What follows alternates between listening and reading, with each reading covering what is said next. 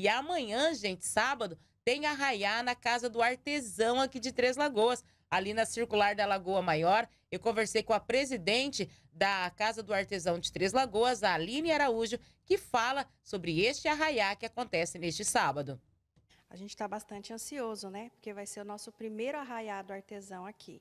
Então, a estimativa é que venha muita gente, porque a gente está divulgando bastante. E para mostrar o, a arte né, que tem, não é só artesanato, vai ter gastronomia também. Vai ter quentão, vai ter milho verde, vai ter cachorro-quente e as comidas típicas do, do arraiá. Vai ser aqui no entorno mesmo da Casa do Artesão? Isso, vai ser aqui na Oreste Prata Tibere. A rua vai estar fechada, vai ter brinquedo para as crianças também, vai ter mesa, vai estar um evento bem legal. E aqui na, na calçada também da Casa do Artesão?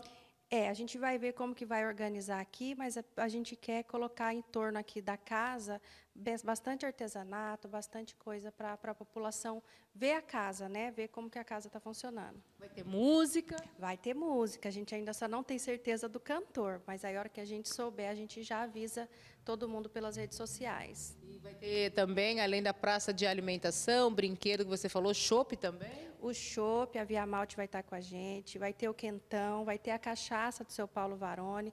Então vai ter muitas opções de comida e bebida. Quem quiser aproveitar também pode comprar, conhecer um pouquinho mais dos produtos, dos artesanatos. Né? Sim, não pode faltar. O artesanato tem que estar lá. Vai ter peças novas que artesãos estão confeccionando para ser lançamento na, na festa. É, vai vir muitas pessoas que não conheciam, né, que tinha como fazer a feira, então vai ter muito artesanato. Então vai ser neste sábado, a partir de que horas, Aline? A partir das 17 horas a gente já vai estar aqui. Todo mundo convidado? Todo mundo convidado. Vem prestigiar, vem conhecer o artesanato e ver né, os, os artesãos que tem aqui em Três Lagoas, porque muita gente sempre fala, ah, mas eu não conheço. Então essa é a oportunidade. Obrigada, Aline. Obrigada.